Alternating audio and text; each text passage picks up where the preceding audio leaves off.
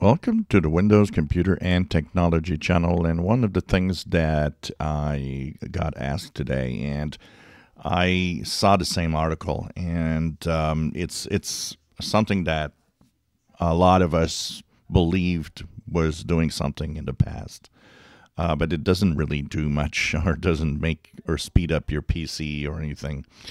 Um, and it has to do with an option on the desktop. When you right click your desktop in Windows, one of the options is refresh. And so um, the thing that we would do when we were young and a long time ago, and we don't know exactly where this came from.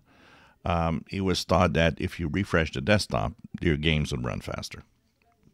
So, refreshing the desktop is mostly in the case if you have icons. So I'm going to show my desktop icons here. And of course, you can right click and uh, say that you know you want to refresh uh, the desktop, and it will redraw the icons on the desktop and redo the um, cache of all the different icons. And for a lot of people, this is oh well, you know, it's supposed to make the PC faster. It doesn't in reality all it does is redraw the cache and the icons, and that's it. Uh, if you have the habit of clicking that refresh button regularly to make things better, there's nothing better when you do that. Uh, it just redraws the screen. The only times that it's useful is it can happen sometimes that you download something that will appear on the desktop, for example. And when that does happen, it might not appear because it needs a refresh to, to see the icon, which is in the, the icon cache, but it's not on the screen.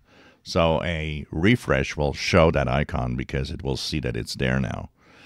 Um, the other thing is if you have some weird errors when you click icons on your desktop, or maybe you've erased some icons in the cache, but not on the desktop. So there could be a problem with if you click an icon, of course, it's going to say it's not there.